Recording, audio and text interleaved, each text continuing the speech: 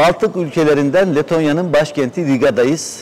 Buraya geliş amacımız her yıl tekrarlanan Riga Havacılık Forumu'nu takip etmek, Riga Havalimanı'nın 50. kuruluş yıl dönümündeki törenleri gözlemlemek ve daha da önemlisi TAV Havalimanları Holding uzun süredir burada hem havalimanını işletiyor hem de birçok kurumuyla havalimanının ve havacılığın her şeysine dokunuyor. Yanımda önemli bir konuğum var. Anlayacağınız üzere TAV Havalimanları Holding CEO'su Serkan Kaptan'la birlikteyiz. Serkan Bey merhaba. Merhabalar. Şimdi sizi önce forumda dinledik. Forumdan önce de burayla ilgili bir detay bilgi aldık. Havalimanını dolaştık. Her tarafta siz varsınız. Hizmetlerinden duty free'ye, lanca, yiyecek içecek alanlarına. Dolayısıyla Avrupa'nın böyle güzel, ne diyelim, narin, hoş bir yerinde uzun bir süredir operasyon yapıyorsunuz. Bu deneyim size ne kazandırıyor? Avrupa Birliği üyesi ülkede olmak. İkincisi, buradaki hedefleriniz nedir? Günter Bey, 2009 yılında ilk e, Riga'ya geldik Letonya'ya. Önce bir anlayalım diye. Hikayesi çok enteresandır. Biz Gürcistan'da Tiflis Havalimanı'nı işletiyoruz. O dönem Air Baltic bizim müşterimiz. Havalimanı işletirken yer hizmetleri de veriyoruz Gürcistan'da. Air Baltic'in o dönemki CEO'su bize ulaşıp e, siz dedi yer hizmetleri düşünür müsünüz Riga'da? Biz hizmet kalitemizi arttırmak istiyoruz. Filo olarak büyüyeceğiz. Kendimize bir ortak arıyoruz yer hizmetlerinde. Olabilir dedik. Geldik ülkeye baktık, inceledik. O dönem çok hızlı büyüyor Air Baltic. 2004'te Avrupa Birliği'ne girmiş Letonya ve hızlı bir büyüme var. Bunun üstüne bir e, şirket kurduk. 2010 yılında faaliyete başladı. Yani yer hizmetleriyle adım Yer hizmetleriyle adım attık. %50-50 e, hava yolunun e, bir şirketiyle biz ortak olup Baltik e, şey Baltiklerde büyümek niyetiyle Nortap Services diye bir şirket kurduk. Ortağı da Havaş bu şirketin. Evet. Sonra bu e, Avrupa'daki kriz biraz Letonya'yı da tetikleyince havayolu bu işten çıkmak istedi. Biz o %50 hisseyi aldık. %100 olarak Havaş ismiyle devam ettik. Daha sonra 2010 yılı içinde de idare buradaki ticari alanların özelleştirmesini düşünmeye başladı. Biz de içeride olduğumuz için tabii biz içeride olduğumuzdan Adım attığınız takip, için biliyorsunuz takip zaten. ediyoruz konuyu, Evet. içeriği biliyoruz. Onun üstüne bir ticari alanlar ihalesi yapıldı. Ticari alanlar havalimanı ihalesine TAV Havalimanları Holding olarak katıldık. TAV Havalimanları Holding olarak kazandığımız ihaleyi altında gene servis şirketlerimizle beraber icra etmeye başladık. Sonraki yıllarda da gene ilişkilerle beraber havalimanındaki fırsatları takip ederken TAV Teknoloji şirketimiz de e, havalimanı yaptığı bir ihaleye katılarak havalimanının operasyonel database'i dediğimiz bilgi altyapısı ve CDM projesini gerçekleştirdi. Bunun şu anda da hizmetini veriyor e, TAV Teknoloji şirketi bizim kontrattan ayrı olarak. Toplamda 15 yıldır buradayız dediğiniz gibi. E, küçük bir ülke, e, Avrupa'nın kuzeyinde. E, ama e, bizim Avrupa Birliği'ndeki ilk projemiz olması nedeniyle çok önemli. Peki bu size nasıl bir tecrübe kazandırdı? Avrupa Birliği'ne üye bir ülkede olmak, buranın mevzuatlarını, biraz sıkı şeyleri de var, denetimdir, kontroldür. Ne gibi bir tecrübe? Hem lokal mevzuatı takip ediyoruz hem Avrupa Birliği mevzuatını takip ediyoruz. Çünkü e, iş yaparken olan rekabet kanunları Avrupa Birliği kanunları uygulanıyor. Dolayısıyla bir teklif verdiğimizde veya iş yaptığımızda ya da yeni bir yer açtığımızda hepsinin Avrupa'daki rekabet hükümlerine uygun olması gerekiyor. Bununla ilgili bir yapılanma da yaptık burada. Yani kuvvetli bir ekibimiz var. AB'de nasıl iş yapılırı Letonya sayesinde öğrendik. Onu da dediğim gibi daha sonra diğer Avrupa Birliği ülkelere aktardık. Ee, Bizim için önemli o yüzden. Burada mini bir e, merkezimiz var denilebilir. Havalimanında bütün grup şirketlerinin olduğu ayrı bir binamız var. Ee, Oradan bu bölgenin iş geliştirmesine de bakıyoruz. Yani sadece Riga'daki operasyon değil, şirketlerimiz burada olsa da civar ülkelerde, Doğu Avrupa'da veya Kuzey Avrupa'daki fırsatları da buradaki ekip lojistik olarak daha kolay olduğu için burası üzerinden takip ediyoruz. İlave olarak Letonya'daki ekibin e, kuvvetli bir yanı da e, doğal olarak Rusça biliyorlar.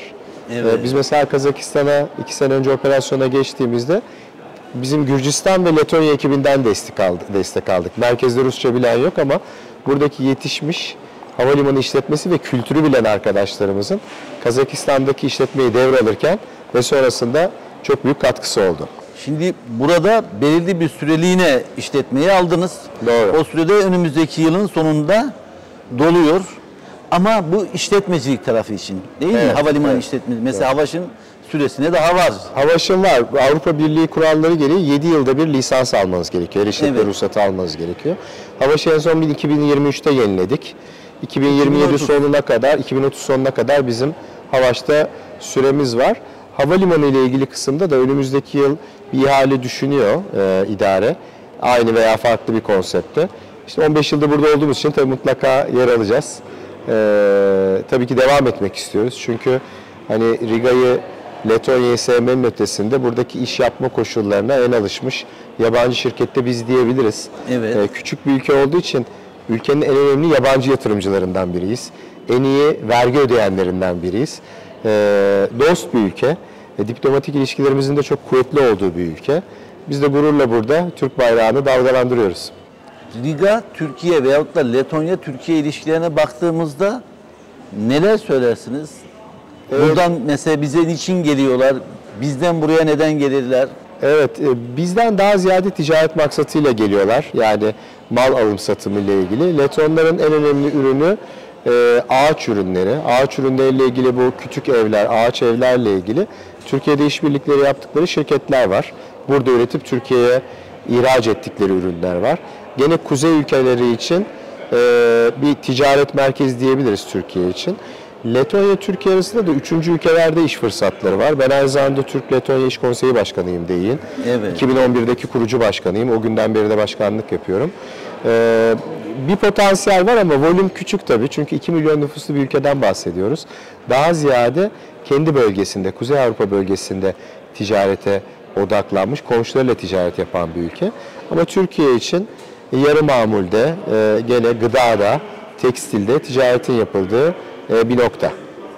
Şimdi siz forumda konuşmaya çıktığınızda yaban buradaki insanlarla yabancı demeyeyim artık Letonyalılarla konuşurken tavın çok ciddi bir algısı olduğunu hissettim. Evet. Zaten forumda da en ağır konuk sizdiniz. Oradan da başka yani çok değer verildiğini görüyorum. Biraz o konuşmanızdan bize de bir iki detay verin izleyicilerimize. Tabii ki. Mesela orada neyin altını daha fazla çi- çizdiniz? Mesela Baltıklar'da Letonya'nın havacılıkta konumu nedir? Onlar nereye doğru yol almak istiyorlar? Tabii Baltıklarda Letonya aslında 3 Baltık ülkesinin tam ortasında olduğu için, Riga'da merkezde olduğu için Baltıkların merkezi diyebiliriz. Tarihi olarak da merkezi. E, bu bölgede de yani 3 Baltık ülkesinde Estonya, e, Letonya ve Litvanya diye sıralarsak ulusal hava yolu diyebileceğimiz Air Baltic var. Air Baltic'in de merkezi Riga gene. Dolayısıyla bölgenin trafiğini aslında Riga'ya toplayıp Riga'dan dağıtıyor Air Baltic. Bu bakımdan önemli. Geçmişte de böyleymiş. Gene Sovyet Rusya zamanında da Riga bu bölgenin hub'ıymış. Riga'nın esprisi aslında Kuzey Avrupa'daki küçük noktalara dağıtım yapması. Yani büyük hava yolları Riga'ya yolcu getiriyor, Air Baltic onları dağıtıyor diyebiliriz. Kuzey ülkelerine ve Kuzey Avrupa ülkelerine dağıtıyor. Bunun büyüyeceğini düşünüyoruz çünkü bu bölgede ulaşım da çok kolay değil. Hani daha kuzeye gittiğimizde Norveç, Finlandiya, İsveç, Danimarka diye baktığımızda o bölgelere araçla ulaşmaktansa hava yoluyla uğraşmak çok daha kolay. Bir de deniz yolu var tabii Baltık Denizi üstünden. Bu avantajını kullanıyor. Ülke havacılığa açık. Ee, geçtiğimiz yıl 7 milyon kadar yolcusu vardı Riga'nın ve bunda e, ciddi bir Rusya etkisi var. Ee, Rus hava sahasının kapanması ve Riga'nın Letonya'nın Avrupa Birliği üyesi olması sebebiyle Rusya ile uçuşlar yok. Rusya hava sahası da kullanılmıyor. Burada ciddi bir kayıp var. Ukrayna ile ilişkiler. Ukrayna ile ilişki. dolayı. Evet yani burada normalde 10 milyon yolcu konuşmamız gerekirken 7 milyon gibi yolcudan bahsediyoruz ama hızlı bir şekilde büyüyor. Dediğin gibi kuvvetli bir hava yolu var. Ee, havalimanı altyapı olarak buna yeterli. Servis sağlayıcı olarak da biz hava yolları için dediğim gibi 15 yıldır burada hizmet veriyoruz. Bu sebeple Riga e, bu bölgenin mini hub'ı olacak şekilde konumunu devam ettirecektir. Dolayısıyla siz de 2025'in sonunda gerçekleşmesi beklenen ihale için Evet, devam Bir yandan da istiyor. hazırlık yapıyorsunuz. Tabii devam etmek istiyor. Çünkü ülkede dediğiniz gibi çok emeğimiz var. Trafiğin büyümesinde emeğimiz var. Tanıtımında emeğim, emeğimiz var. Şimdi TAV Havalimanları olarak katıldığımız fuarlarda, organizasyonlarda tek bir havalimanı değil portföyü tanıtıyoruz. Riga'da bu 15 havalimanlık portföyün bir parçası. Ee, bu sebeple gittiğimiz her ülkede e, hem havalimanının tanıtımı için hem turizmin tanıtımı için bu çabaları sarf ediyoruz. Aynı şekilde Türkiye'de de bunu yapıyoruz. Hani Leton Büyükelçiliği ile ilişkilerimiz, buradaki Türk Büyükelçiliği ile ilişkilerimiz, ticareti ve bu ilişkileri nasıl geliştiririz diye kafa yoruyoruz. Dediğim gibi diğer şapkamla da Leton, Türk Leton İş Konseyi Başkanı olarak burada 700'e yakın öğrencimiz var, Türk öğrencisi Evet. var. Ee, onların da Letonya ekonomisine katkısı var. E, çok güvenli ve e, temiz bir ülke. Öğrenciler için de öyle. E, eğitim de çok iyi. Türkler olarak az tanıyoruz Letonya'yı ama işte bu şekilde olan girişimlerimizle daha çok tanınmasını, sadece Letonya'dan Türkiye değil de Türkiye'den de Letonya'ya e, ziyaretçi gelmesini arzu ediyoruz. Siz Kuveyt'teki havalimanının ihalesiyle de ilgilendiniz. Teklifinizi de verdiniz. Aslında bugünlerde açıklanması gerekirken Doğru bekliyoruz. bir şey çıkmadı. Ben de sordum. Nedir son durum? Doğru. Ee, Kuveyt'te bir merkezi ihale komisyonu var. İhale e, değerlendirmesini yapan ekip teknik değerlendirmeyi oraya gönderdi. Orası bu değerlendirmeyi onayladıktan sonra finansal teklifleri açacak. Beklentimiz her an olabilir bu. Yani Ekim ayı içinde e, teklifleri açıp e, nihai kararı verebilirler. Bunu bekliyoruz. Terminal 2 dediğimiz e, orta alandaki büyük terminal için, iki pist arasındaki terminal için yapılan ihale. Onun dışında Terminal 4'ü de ihaleye çıkardılar. Geçici olarak yapılmış olan Kuwait Airways'in kullandığı. E, Kasım ayında ona Bir da dağınık yapı olmuyor mu böyle? Terminal 2, Terminal 2 4. gecikince Terminal 4'ü bir süre daha yaşatmaya karar verdiler. Ee, onun da ihalesine çıkıyorlar şimdi. Kasım ayında muhtemelen onun da ihalesi olacak. Niye dağınık çıkıyorlar? Toptan çıkılması Ee, makul olmaz mı? İşletmeye geçiş süresi biraz uzadı Terminal 2'nin. O dönemde kısa süreli vermişlerdi Terminal 4'ü 5 yılında. O 5 yıllık süre doldu. Ee, biraz sıkıştıkları için kısa dönem, geçici dönemliğe dönem için orayı bir ihale yapmak istiyorlar. Kazakistan'da terminal bitti. Sizin Bitti. yaptığınız. 1 Haziran'da açtık. Evet. Ama başka faaliyetler devam ediyor. Var. Kazakistan'da e, bizim çok geniş bir servis portföyümüz var biliyorsunuz az önce sıraladığımız gibi. İlave olarak uçak yakıtı işine girdik. Havalimanının satın alınmasını yaptığımızda uçak yakıt işi de paketin içinde geldi. Bu sebeple e, e, uçak yakıtı hizmetini de veriyoruz. Oradaki yakıt çiftliğini işletiyoruz. E, büyük bir iş, e, yüksek volümlü bir iş. Yeni terminal, yatırımlar devam ediyor hala. Yani ana yatırım olarak terminal ve VIP dediğimiz bölge bitti ama çok hızlı büyüyen trafikten ötürü ilave park sahaları, e, kargo yatırımları gerekiyor. Kargo da çok hızlı büyüyen e, bir bölge Almaty. E, Çin'le sınırı olduğu için Kazakistan'ın ve Shenzhen'den sadece 2,5 saat karayolu mesafesi olduğu için Evet. ciddi bir kamyonla Kargo. gelip dağıtım ve tersi oluyor. Bu sebeple orası biraz bebek gibi sürekli yatırım istiyor. Antalya'da durum nedir? Antalya'da durum yıl sonuna inşallah e, yatırımın çok büyük kısmını bitiriyoruz. %88'lere geldik. Evet. Bayağı hızlandı. Aslında yıl başında terminalleri bitiriyoruz. Hem iç hatlar terminalini büyütüyoruz. iki katına çıkarıyoruz kapasiteyi. 40 bin metreden 80 bine. Dış hatları da gene 200 bin metrekareye çıkartıyoruz. Biz 125 bin metrekare bina yapıyoruz. Mevcut 75 binin üstüne. Ee, bu şekliyle yolcu kapasitesini 50 milyonlara getiriyoruz. Ee, terminaller bitiyor. Çok fazla altyapı işi vardı orada. Bizim işletmeyeceğimiz ancak yatırımını yapıp devlet hava meydanlarına teslim edeceğimiz taksi yolları, ilave park sahaları yaklaşık 1,5 milyon metrekarelik apron yaptık. Ee, ciddi park sahaları geldi. VIP, CIP, devlet konuk evi, yeni kargo, yeni yakıt çiftliği. Bunun gibi devlet hava meydanları binası gibi yaklaşık terminaller haricinde 30 tane ayrı bina yapıldı. Çok geniş bir alanda ve bu iki buçuk yıl gibi bir sürede yapıldı.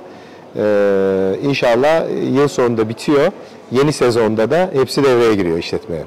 Şimdi bu Riga Havalimanı'nda şeyi gördüm. Lunch ve burada lunch'ın içinde yeni, Yeni bir, bir konseptimiz konsepti. var. Evet. Doğru.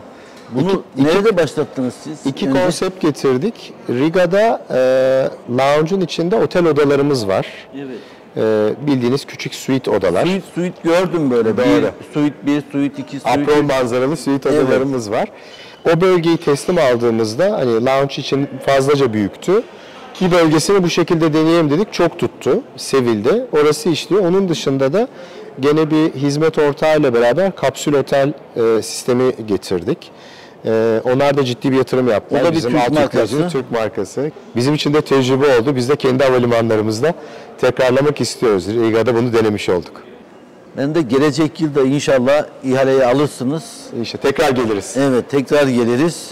Zaten buraya adım atmışsınız. İhaleyi almasanız her, her, vesi- Tabii, her tabii, halükarda buradayız. buradasınız. Tabii ki. Ben de başarılar diliyorum. Çok teşekkür ediyorum.